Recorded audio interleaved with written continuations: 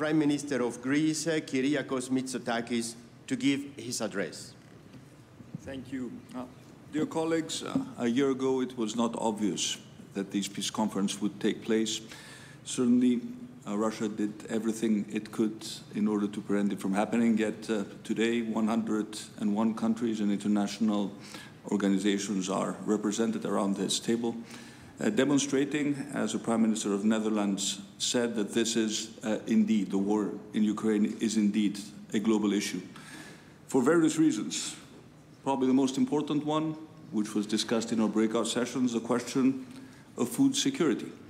When uh, we hear uh, the president uh, of Kenya mentioning the impact uh, of the availability and price of fertilizers has had on its own farmers, we understand the tremendous implications of this war on global food security. And uh, of course, I would like to express my satisfaction that in the conclusions in the joint communique, we have highlighted the importance of uh, maintaining free and full and safe commercial navigation uh, and supporting Ukraine in order to protect its ports and its infrastructures. Uh, I was with Volodymyr in Odessa uh, when a Russian missile actually struck the port.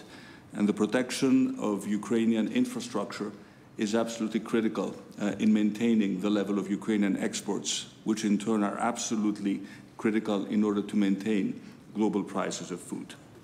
The second and probably most important reason why this war has become a global issue is the fact that we're all here to um, uh, demonstrate our commitment to a rules-based international order, to confirm the primacy of the UN Charter, to send a very clear message that sovereignty must be respected, that borders cannot be changed by force, that international rules and norms must be upheld, that countries and people have a right to choose their own form of government and determine their own destiny and their own future, that nuclear safety cannot be endangered, that food cannot be weaponized. We speak about a just and lasting peace, but I think we can all agree around this table that this peace cannot be a result of Ukrainian capitulation.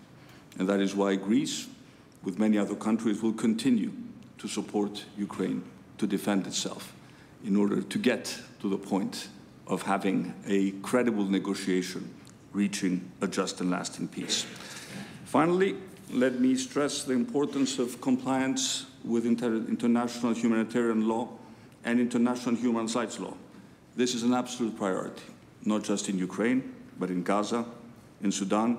We must, above all, prioritize the protection of civilian population, ensure the safe return of unlawfully deported or forcibly transferred children, as well as the release of unlawfully detained civilians and the further exchange of prisoners of war.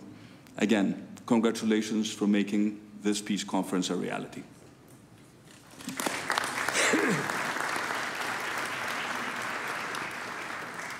Thank you, Prime Minister.